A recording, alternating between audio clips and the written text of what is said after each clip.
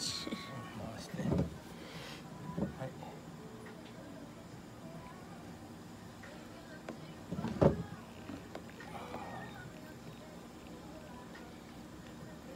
なんか脱水してそうな皮膚ですよね。お水で温浴するときお水って飲んでるんですかねこの子。と思思いながら見てるんじゃないけどわかんない。わかんない温浴するときにさおしっことかうんちする確率高いんですよね。そうですうね、ん。でなんかでもおしっこすればさうん水分だけじゃなくて尿酸も出ますんでね。うんわかりますよね。してれば。黄色っぽいドローっとしたものなんだけどそれっておしっこでうん。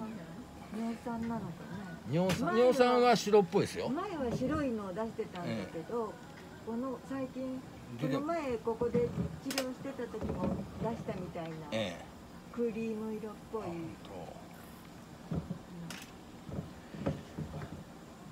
まあ、とりあえず点滴と総合ビタミン剤と心臓肝臓を元気にする薬抗生物質。それから何だったっけ痛み止め。胃腸を動かす薬。もう一個胃腸を動かす薬。あ違うか。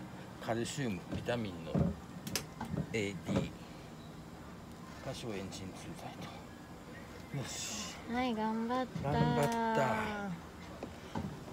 はい。久しぶりだったね。これできるか？した。